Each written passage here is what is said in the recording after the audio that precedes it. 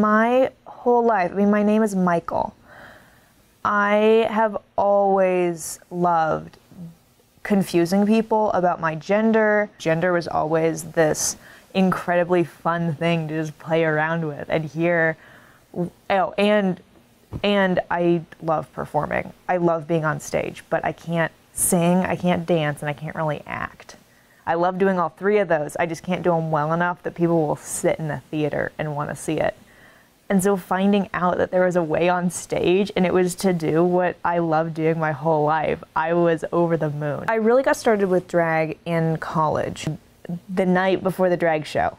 I had been practicing and I was so nervous.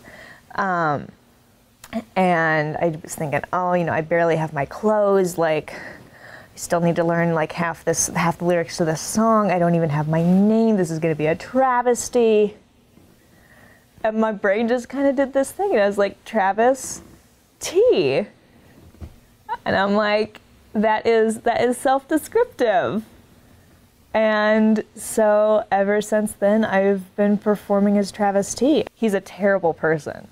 That's that's what's so fun about being him. My drag persona has evolved a lot. Like Travis Tea kind of kind of the core of who I like to be is just um, a ladies' man who's the best person on the planet and doesn't doesn't have respect for anyone else, doesn't have to have respect for anybody else. Um, and that oversized ego, that oversized confidence is how I get up on stage.